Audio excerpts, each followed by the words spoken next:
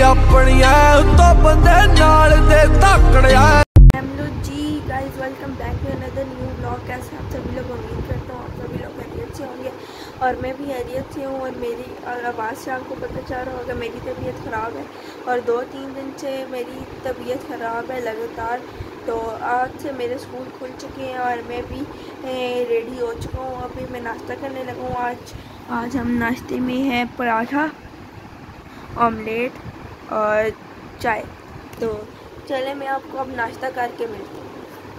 देखिए, आज का वेदर बहुत गर्मी है। इतनी गर्मी है गाइस इतनी ज़्यादा। गाइस ये थी गर्मी आज बहुत ज़्यादा है। और आपको मेरे पीछे एक नई चीज़ नज़र आ रही होगी। ये है हमारा नया बाइक ये देखिए।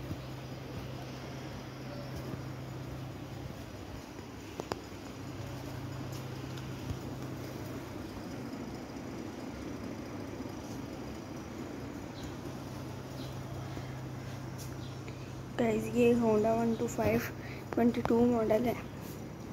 ये देखें मीटर देखें गाइस मीटर गैस ये Honda one two five twenty two model है। ये हमने नया लिया है अभी।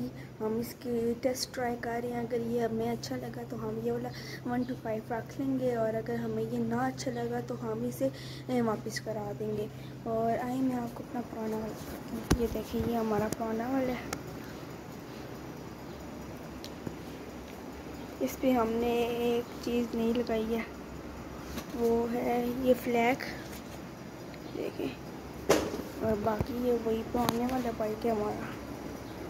ठीक। और चलिए गैस मैं आपको थोड़ी देर बाद स्कूल से आके मेरी ये देख लें इसे एक दफ़ा गाइस अभी मैं स्कूल से वापस आ चुका हूँ और मैंने अभी आज फ्राइडे और अब मैं तैयार होकर जुम्मा पढ़ने जा रहा हूँ। और अभी भी बाहर बहुत ज़्यादा गर्मी है, मैं जुम्मा पढ़ कर आऊँगा, फिर आपको मिलूँगा। ये वेदर देख लीजिए कितनी धूप निकल रही है। सुबह भी आप, ये बादल आए हुए हैं, लेकिन गर्मी उसी तरह तो चलिए अब मैं जुमा पढ़ने जा रहा हूँ। जुमा पढ़ कर आता हूँ फिर आपको मिलता हूँ। गाइज़ मैं जुमा पढ़ कर वापस आ चुका हूँ और मैंने आपको जो अपना सुबह नया बाइक दिखाया था तो उसके मैंने कुछ शॉर्ट्स बनाए थे। आप लोगों के लिए चलिए आप वो शॉर्ट्स इंजॉय करें।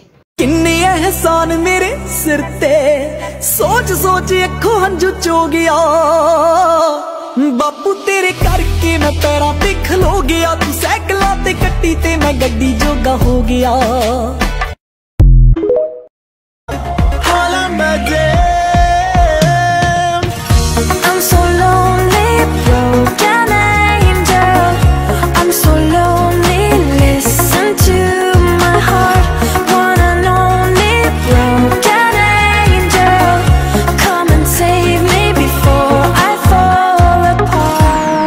जो बात बात पे सेवेंटी की मिसालें देते हैं उन्हें कहना कभी हमारे वन टू फाइव पे बैठ के देखे. और दुनिया का कम बदनाम करे सोनिए जब जो भी करे शरेआम करे। गाइस उम्मीद आपको बाइक के शॉर्ट्स मज़े के लगे होंगे और आज के व्लॉग को मैं यही एंड करता हूँ। काइंडली लाइक कर देना और अगर आप इस चैनल पे नहीं है तो सब्सक्राइब कर देना। ओका अल्लाह हाफिज़।